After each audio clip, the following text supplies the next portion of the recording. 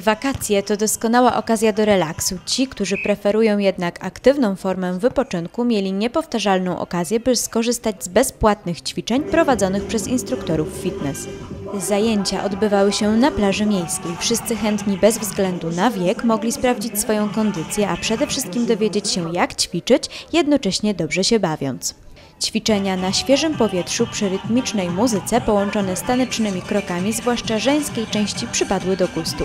I wraz z upływem czasu chętnych pań, które dołączyły do tanecznej grupy, było coraz więcej.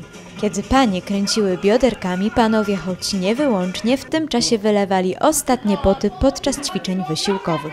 To jednak nie wszystkie atrakcje, które tego dnia czekały na plażowiczów. Tradycyjnie odbywały się rozgrywki w plażową piłkę siatkową. W rozgrywkach wzięły udział 22 drużyny, w tym jedna żeńska i dwie mieszane.